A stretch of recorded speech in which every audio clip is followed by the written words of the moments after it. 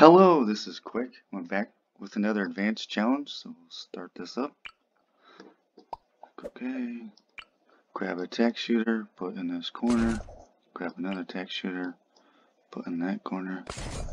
Do a 0 for 0, and another 0 for 0.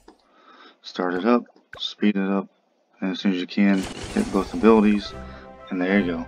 Until next time, take care.